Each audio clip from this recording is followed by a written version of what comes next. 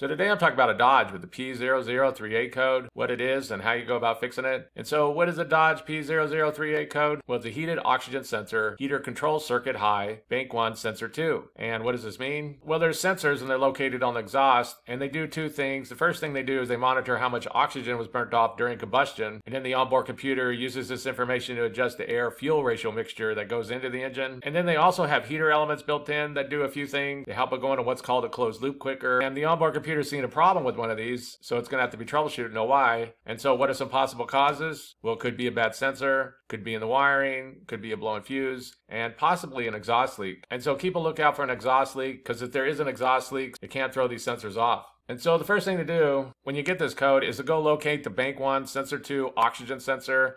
Since there can't be some differences, it's really going to vary. It's going to depend on the engine, the year, and things like this. Sometimes there'll be two, sometimes there'll be four. It's really going to vary. For example, here's a 2005 Dodge Ram, and bank one, sensor two would be right here. So this would be the oxygen sensor that's having the issue. And if you don't have a diagram, then basically find cylinder number one, and that'll be bank one side of the engine, and the opposite of that would be bank two. But if you find the number one cylinder on your engine, and then the second sensor on the exhaust going down would be sensor two. But the first thing to go and do is locate this bank one sensor two oxygen sensor, also called the downstream oxygen sensor on your particular Dodge. And then once you locate the sensor, the next thing to do is to check out the wiring real good. Be sure everything looks like it's plugged in. There's no loose connections or any damage or anything like that. Basically, keep in mind anything wrong with the wiring, open, short, bad connection, anything like that is going to cause the same symptoms as a bad sensor. Also, keep in mind that these are going to be on a fuse, and if that was a blow, then it could cause issues. So that's something to keep in mind. And so if the wiring all looks good, there's no damage or anything like that, everything looks like it's plugged in, the very likely that sensor has just failed. It just needs to be replaced. You can't test it if you want to. I made a video on how you can test these sensors. I'll put a link down below if you need it. But the next thing to do is going to be to either test it or replace it.